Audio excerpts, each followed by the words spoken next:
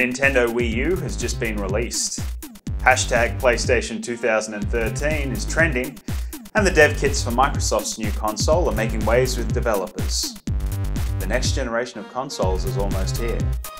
This is a key part of the generational cycle where we, as potential customers, are bombarded with complicated specs, weird tech demos, and IP hoarding. So what I'd like to show you is my new edition.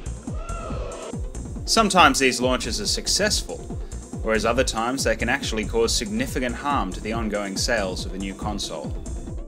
Today we're going to have a look at some past console launches, both good and bad. After breaking down each one and working out their strengths and weaknesses, we're going to move on and have a look at the next generation of consoles, and try and work out what exactly their campaign managers should be focusing on. We'll begin with one of the best consoles of all time, the SNES. Although this console is rightly regarded as a classic, its initial release was not a sure thing by any stretch of the imagination. Nintendo had dominated the 8 bit marketplace with the original NES, but Sega had beaten them to the 16 bit market by a huge amount of time, having released the Mega Drive in Japan a full two years before Nintendo released the SNES. In addition to this, there was a very staggered launch throughout the world.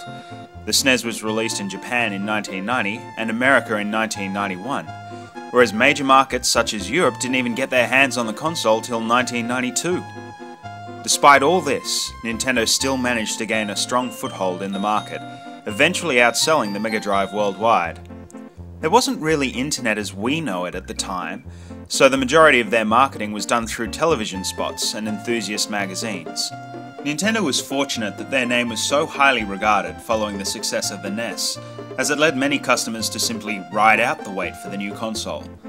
It also had the benefit of having strong titles at and close to the launch of the console, such as F Zero, Pilotwings, and the first console port of Street Fighter II. These games showed off the technical features of the SNES, such as the expanded colour palette and Mode 7. The console also used Super Mario World as a pack-in game for years, encouraging people to buy the console even if they couldn't afford to build a game library straight away.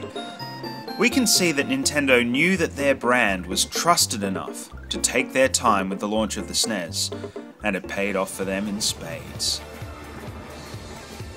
In comparison, Sega's launch of the Saturn was a disaster, particularly in North America. At the time, Sega fans had lost a lot of faith in the company in the wake of the Sega CD and 32X. Sega was eager to try and recreate the success they had found with their 16 bit offering, the Mega Drive. The upcoming launch of the Sony PlayStation seemed to spook them though, and there were several problems with the Saturn's launch. The first was the confusion regarding the American release date. For months, Sega had been promoting Saturn Day, September 2nd, 1995, as the official launch date for the console. However, at their E3 showing on May 11th, Sega announced that the console was actually available in stores that day. This was supposed to give Sega a surprise four month head start on Sony, but both developers and consumers were not ready for the new console yet. There were only six games available at launch, since many developers had been planning their games for the original September launch date. The launch games themselves were also significantly less impressive than they should have been, due to the shortened development and the complex nature of the dual CPU Saturn hardware. Finally, the console was also extremely expensive 399 US dollars, a full $100 more than the PlayStation. With this in mind, it's no surprise that Sega had problems in the 32 bit generation that ended up eventually sinking the company's console ambitions. A more recent and more infamous launch was the PlayStation 3 in late 2006. Of all the consoles we've looked at today, this is the only one where information spread through the internet was a major factor in the console's struggles.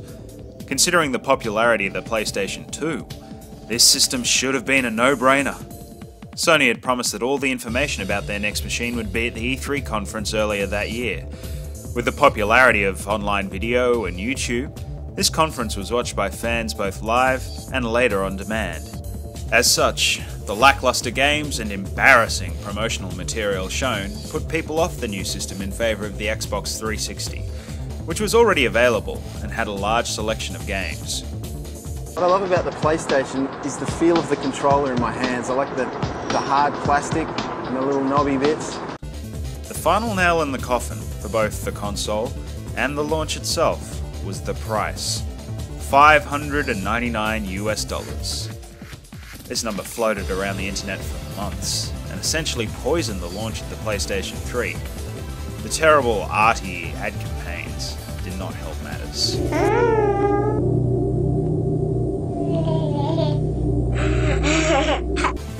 Whilst the console eventually managed to drag itself out of the hole Sony had dug during its launch, it only did so through extreme financial investments that should not have been needed in the first place.